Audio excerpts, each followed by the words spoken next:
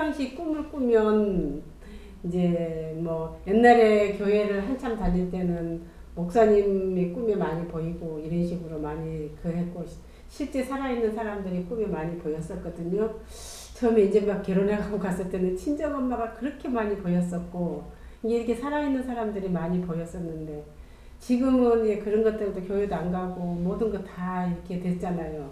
근데 요즘은 처음에 저 가게를 갔을 때게 또 이게 귀신처럼 휙 와서 보고 가고 휙 와서 신사분이 완전히 그렇게 와세 번을 왔다 갔다 하는 걸 봤거든요.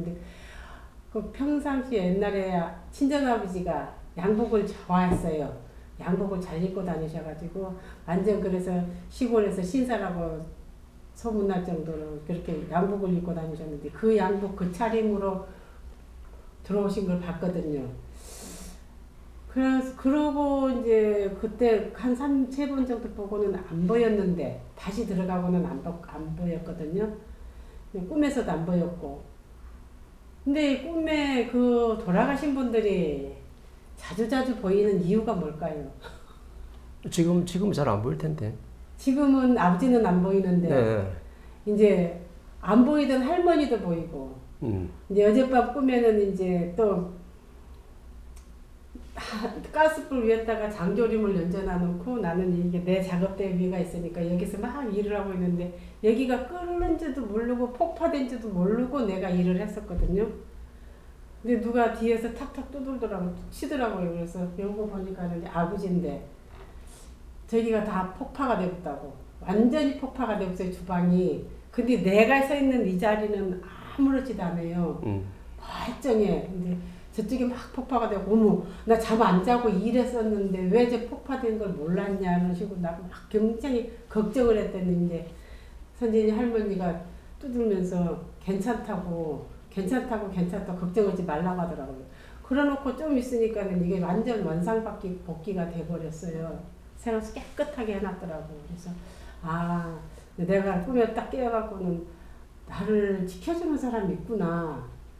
라는 걸 깨닫기는 했는데 왜 이렇게 꿈속에 안 보이던 이런 혼들이 자주 보이는지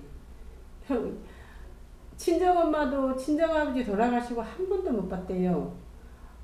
또 언니는 딱 한 번 보고 여동생도 한 서너 번 보고 근데 저는 이사 갈 때마다 보이거든요 아버지가 처음에 여수에서 순천으로 이사를 가려고 했을 때도 그때는 막은 거였는 것 같아요. 배고프다고 밥 달라고 와서 공부다라게 해서 공부다라겠다가 내가 밥을 차려줬거든요. 그러고는 이 꿈이 이상하다 싶어서 그냥 내가 그냥 순천으로 안 가고 수원으로 이사를 왔어요.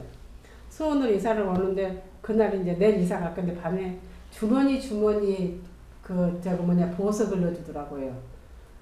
그래서 수원 와서 10년간 잘 살고 필리핀 가는 그날도 밤중에 아버지가 보이고 부산 여기 와갖고 처음에도 또 부산 왔을 때도 이제 막 그 재래식 화장실을 갔는데 이게 널빤지를 이렇게 다 하고 했는데 이게 이제 벌어지면서 내가 막 빠질라 그러니까는 아버지가 손 붙잡고 건져줬거든요.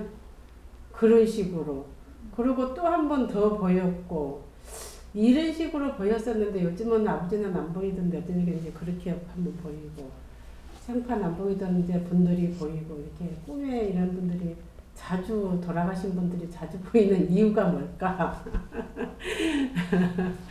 내가 선지자한테 그 이야기를 했더니 멘토님한테 한번 여쭤보라고 식공부를 안 해서 선지도 본다고 하는데 음. 옛날에는 우리가 그 교회 다니잖아요, 그죠? 예. 어, 내가 깝깝하고 힘들 때는 누굴 찾아갔어요. 음.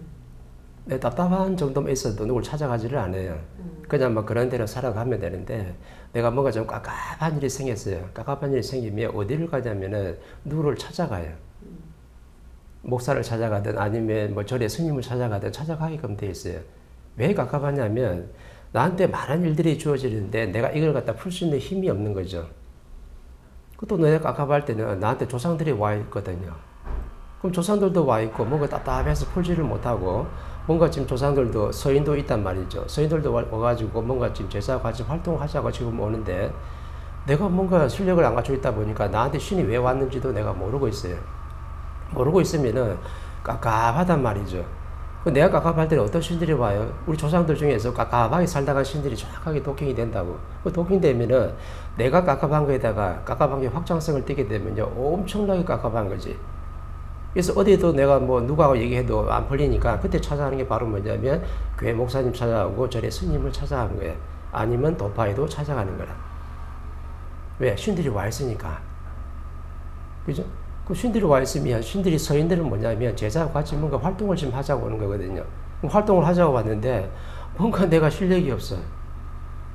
신들이 와 있는데 이것도 내가 알아서 할 수가 없어요.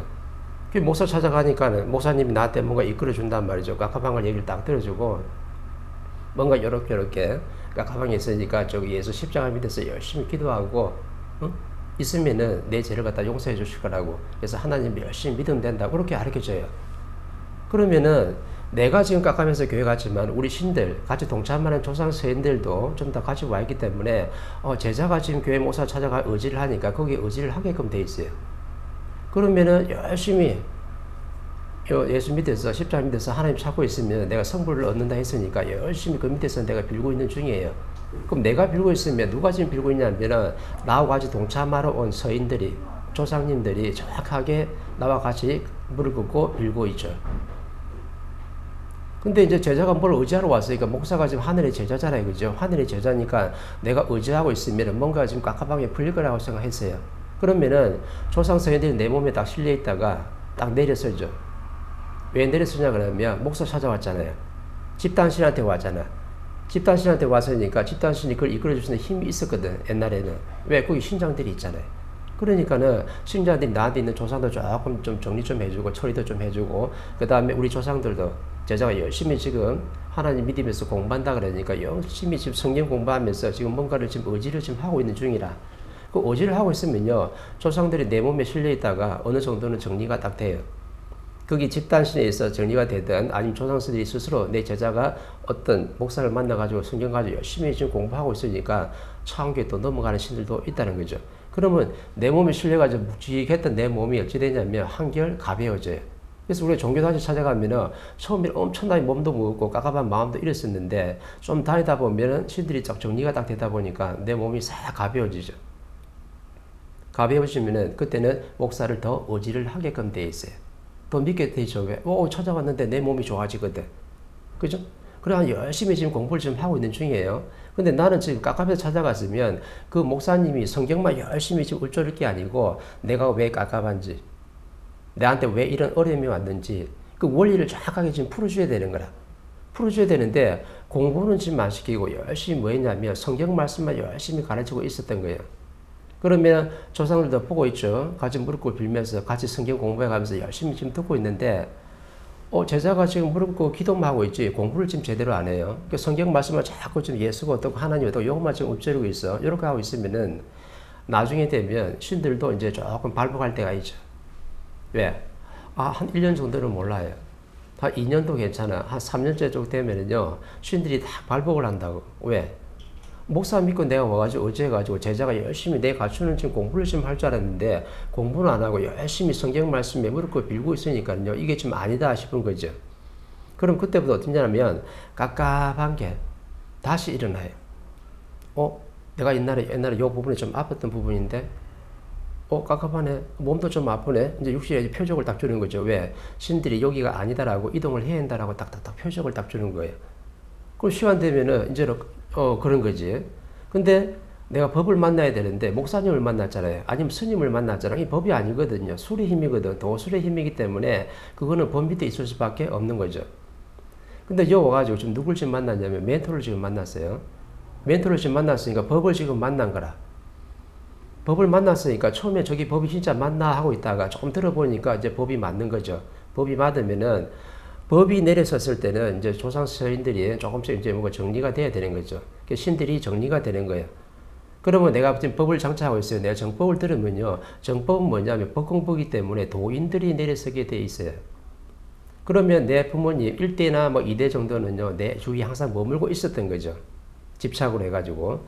근데 내가 법을 만나 있으면요. 그 1, 2대 조상들은 내한테 있을 수가 없는 거예요. 차원을 넘어가야 돼. 그 차원을 넘어가면 어떤 신들이 와 있냐면 적어도 처음 공부할 때 3대, 그 다음에 3대가 오면 누가 오냐면 뒤에 5대가 따라오죠. 왜 힘을 실어주니까. 그럼 어느 정도 3대가 좀 공부하고 나면요. 5대가 나중에 5대도 좀 공부하다 보면은 법을 정착하면요. 5대도 또 이렇게 체인지가 돼요. 그때는 누가 오냐면 7대가 와야 돼. 그 7대가 정확히 오면요. 9대가 또 같이 따라와. 왜? 힘을 뒤에서 실어줘야 되니까. 같이 맞물려 있는 거거든. 그러면은 내가 정법을 공부하면, 법을 공부하면요. 적어도 몇 대에 오냐면 적어도 5대에서 7대 조상 소인들이 내려서 가지고 뒤에서 힘을 딱 받쳐주게끔 돼 있어요. 그러니까는 옛날에 와있던 우리 아버지가 좀 보이던데, 그거는 1, 2대잖아요. 그죠? 1대가 오고 2대는 따라오는 거거든. 그 따라온 신들은 내가 법을 지금 듣고 있기 때문에 전부 다 정리가 돼 있게 돼 있어요.